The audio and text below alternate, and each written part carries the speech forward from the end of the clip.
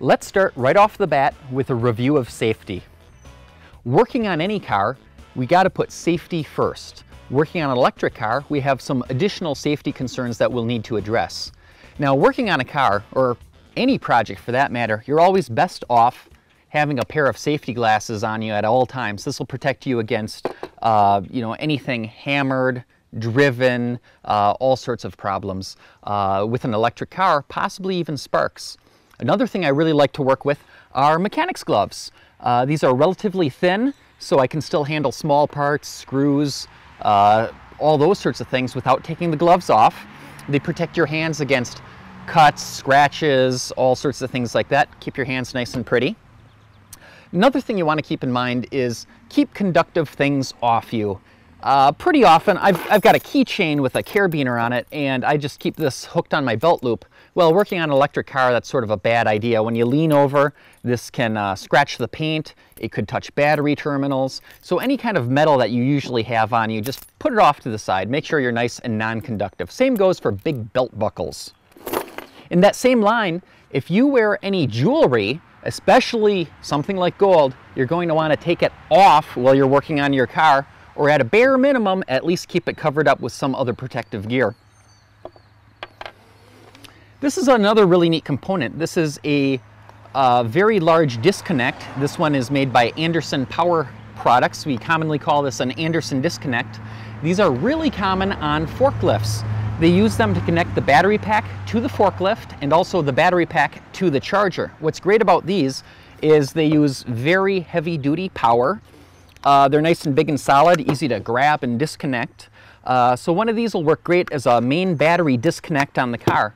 So anytime we're working on the car, the first thing we want to do is disconnect the energy source, in this case, the batteries. And that's something as simple as just pulling this connector apart. They're also designed with nut and bolt holes so that you could mount this on the car uh, to be able to remotely uh, pull it apart or attach some sort of a handle to make it easier to pull apart. And these are real easy to find at junkyards on old forklifts. Now over here we've got my wrenches and the batteries on my car have uh, a different size for the positive versus the negative connection.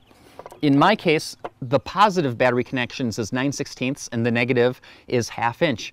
So what I did is I covered the wrenches with uh, a non-conductive shrink wrap and I also color coded them. So I've got red for the positive, black for the negative. I also did the same to two of my socket wrenches. And this is real easy to do. All you need to do, you get some big shrink wrap. You take your wrench, slide it in here,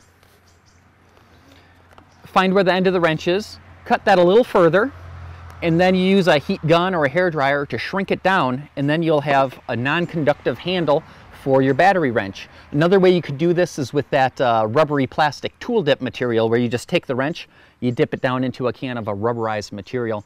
Um, it's probably worth actually getting some spare wrenches just to keep around as your battery wrenches. You might want your you know, wrenches that are part of a set to still match that set and all, but uh, it's very nice to have a dedicated set of battery wrenches. Also, like uh, working on any car project, other things you want to keep in mind are, for example, when you're jacking up the car, you want to make sure to have your parking brake set, you want to chock the wheels, and once it's jacked up, you want to use jack stands. You don't want to rely on just the jack itself to keep the car from falling down on top of you. And of course, follow all other safety instructions. Any manual that came with a power tool, read it, follow the safety first. We want you to be safe while working on this project.